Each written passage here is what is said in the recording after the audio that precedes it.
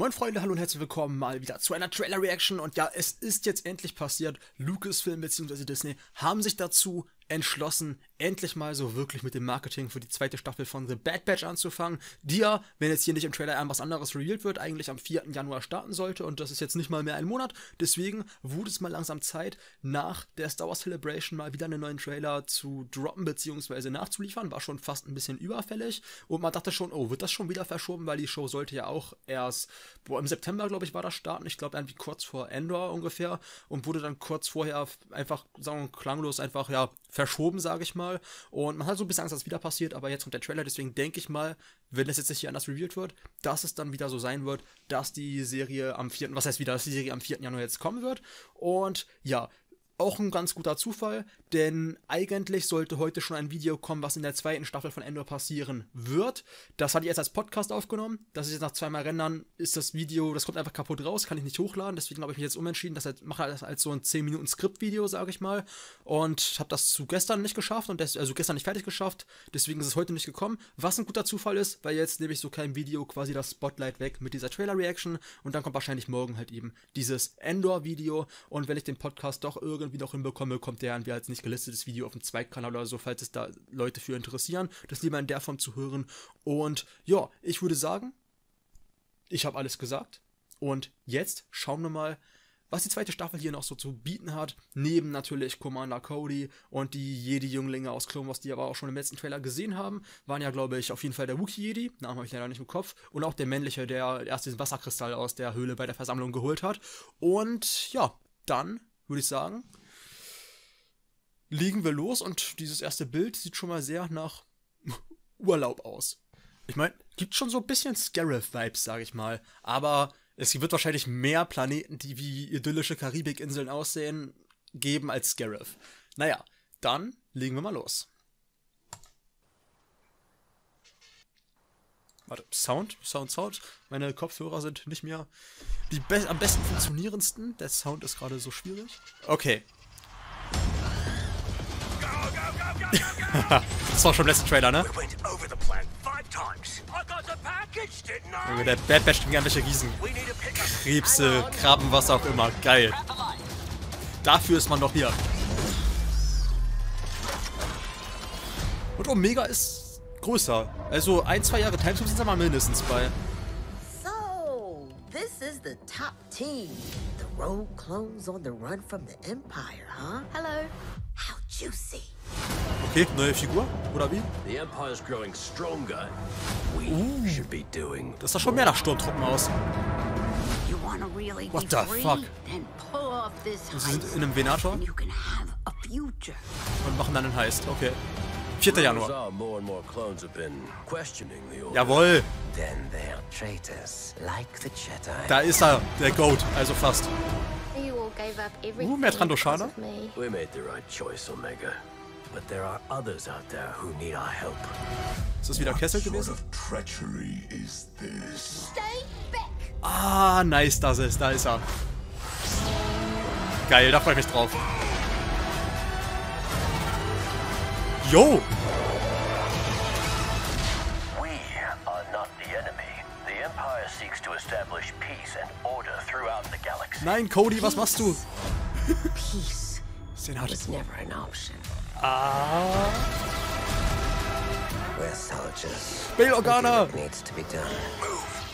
Die Coruscant Kram. War das gerade Sereno? What do you need, Rex? Any chance I could use you for a mission? Wollen natürlich eine Mission mit Rex. Parents, The Bad Batch, new season, streaming January 4th. Was ist mit dem Hintergrund hier los? Bei diesem Logo, der Hintergrund ist ja mal todesverpixelt, oder was soll das darstellen? Das sieht irgendwie falsch aus. Hui, okay, viele Bilder, ich muss sagen, ich habe nicht so krass auf das Gesagte geachtet gerade. Ähm, und deswegen würde ich sagen, gehen wir den Trailer jetzt mal ein bisschen langsamer durch. Okay. Das wird wahrscheinlich eine Einfolgenmission sein, auf dieser Insel.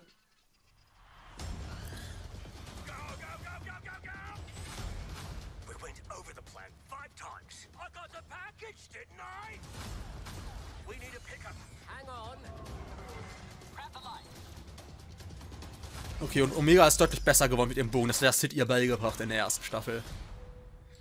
Sagen wir so, aber so viel größer, glaube ich, ist sie jetzt doch nicht. Ich muss es natürlich nebeneinander sehen. Aber so mit ein, zwei Jahren kann man gehen. Dann wären wir ja schon so 18, 19, äh, 18, 17 vor der Schlacht von Yavin. Okay, und sie verstecken sich vor, ja, wahrscheinlich, also natürlich LAATs, eigentlich republikanische Kanonenboote, aber in dem Kontext ist es wahrscheinlich imperiale Kanonenboote. Und Planeten, ja, könnte jeder Planet sein, also könnten viele sein. Die Frage ist, ist das eine Figur, die man erkennen könnte, sollte, die ich gerade aus irgendwelchen Gründen nicht erkenne, oder ob es eine neue Figur ist? Okay, es gibt mir so ein bisschen so neue Auftraggeberin-Vibes, so ein bisschen. Äh, okay. Und scheint auch den einen oder anderen hippen Spruch zu droppen. Mal gucken, wie gut das dann funktioniert. Ja, also das geht hier immer mehr in Richtung normale Stormtrooper. Da sind wir noch nicht ganz angelangt. Irgendwie erinnern die mich so ein bisschen mehr an diese Helme von, an den Vader-Helm aus Rebels. Ich weiß nicht wieso. Oder sehen irgendwie, sehen die irgendwie so ein bisschen so aus wie in den alten Concept Arts, wo die Stormtrooper noch die waren mit Lichtschwertern so, also von Episode 4 Concept Arts von Ralph McCurry. Ähm, erinnere mich irgendwie so ein bisschen da dran, aber kann auch sein, dass ich da gerade eine falsche Erinnerung habe. Ich werde sie irgendwo im Video natürlich einblenden, so, und dann werdet ihr selber sehen, ob meine Erinnerung Bullshit ist oder ob ich dann einen Punkt hatte. Mal gucken. 50-50 Chance. Und Rampart ist natürlich, das ist doch Rampart, oder? Oder ist es nicht Rampart? Auch am Start. Was zur Hölle ist das? Das ist ja offensichtlich irgendwie was Metallisches. So, sind wir jetzt hier in.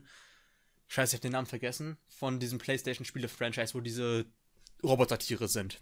Ich hab, das hat ja, gibt ja zwei Teile davon. Ich glaube, Elroy oder so heißt die Hauptfigur, keine oder Leroy, irgendwie so etwas in die Richtung.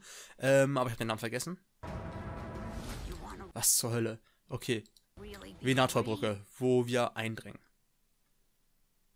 Auf Coruscant? Fragezeichen, weil das sieht mir jetzt nicht wieder so nach Brocker aus, sondern eher. Das sind ja halt irgendwie so Lichter, die in der Distanz sind, so. Deswegen. Weil Coruscant Shots vom Bad Batch hatten wir. Wir hatten ja auch im ersten Trailer Omega, die ja, glaube ich, sogar im Senat war, wenn mich jetzt gerade nicht alles täuscht.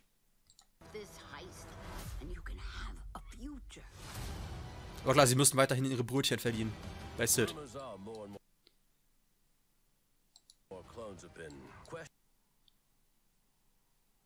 Aber das sind doch jetzt andere Helme. Das sind doch jetzt wieder Klone, ne? Weil das sind andere Helme als es sei denn, ich bin gerade komplett dumm. Ja, das sind auf jeden Fall andere Helme, die mir so einen viel dickeren, dickere untere Unterseite, sag ich mal.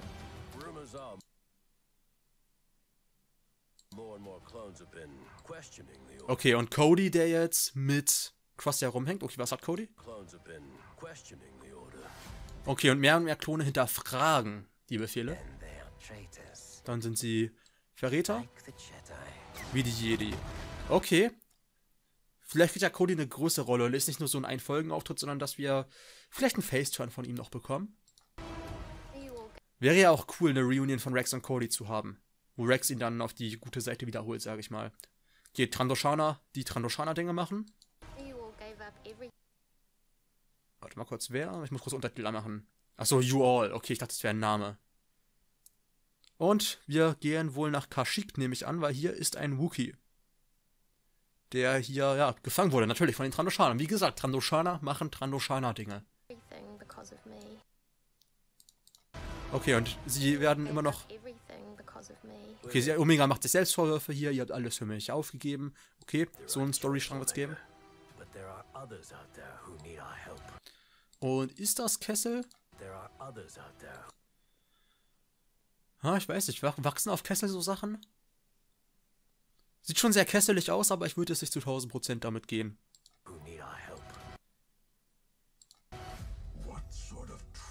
Was sind das für Druiden? Die sehen, die sehen so ein bisschen so aus wie L3 aus Solo A Star Wars Story, wo wir gerade von Kessel gesprochen haben.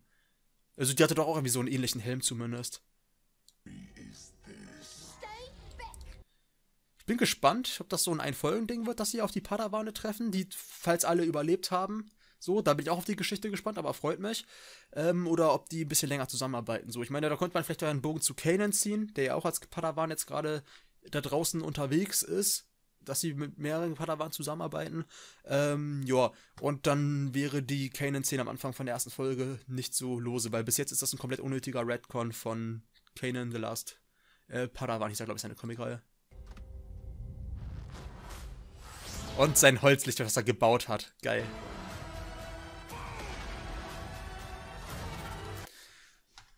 Ist das der Tunnel, wo Anakin und Obi-Wan und so in Episode 2 durchfliegen? Oder ist das irgendwie ein anderes Rennen? Das sieht mir auf jeden Fall sehr Coruscantic aus hier, aber könnte auch. Es gibt ja viele Planeten, die so sind. Und das sieht mir fast so aus, als hätte man. Sind das Normal Maps statt das, was wirklich rausmodelliert wurde? Das sieht fast so aus, ein bisschen.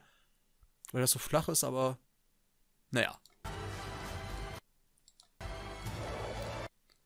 Wer zum Fick bist du?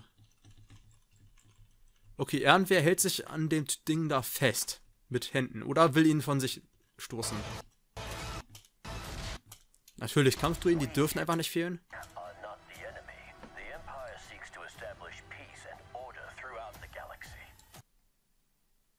Und das ist jetzt gerade wieder Cody, der Einheimischen scheinbar einreden möchte, wir sind nicht der Feind, wir wollen hier nur Ordnung bringen. So typische imperiale Propaganda.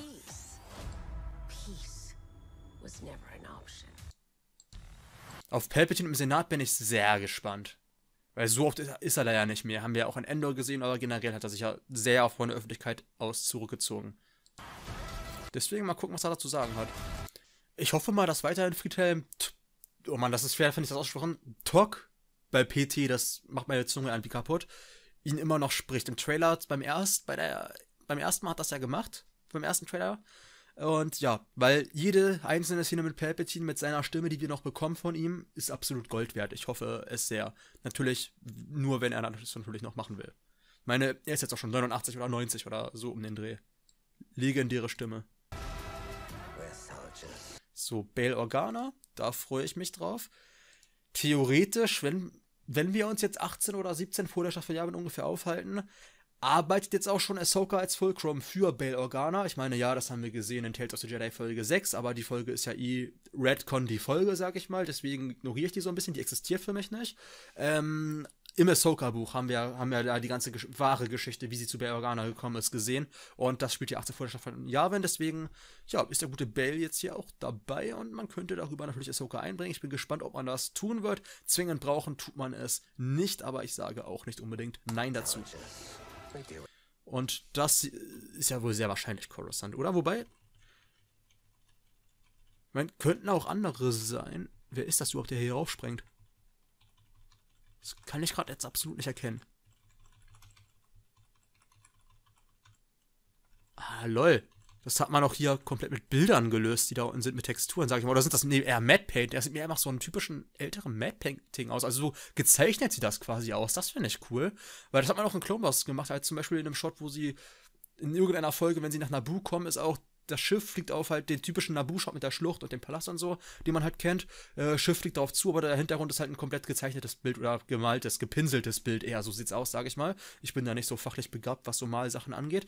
Aber ja, hier ist quasi das alles, dieser Bereich, einfach gemalt und das hier, schätze ich mal, könnte einer 3D-Ebene sein, aber kann, kann sein, dass es auch gemalt ist. Oder? Aber das sieht für mich auf jeden Fall sehr handgemalt aus. Und man kann auch dann später in der Post halt auch bei Bildern halt so 3D-Elemente einbringen, dass sie 3D-mäßig aussehen. Und das ist zu 1000% Serrano.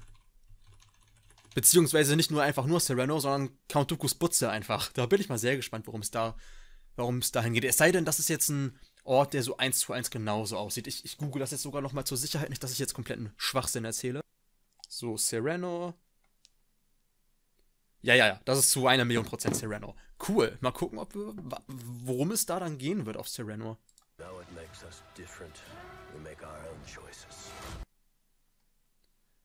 Also ich finde dieser das sieht schon sehr gewürzig aus, finde ich, hier dieser rote Dampf. Das spricht dafür, dass es ein anderer Kessel ist. Oder zumindest eine andere Gewürzmine. Do you need, Rex? Any chance I could use you for a mission?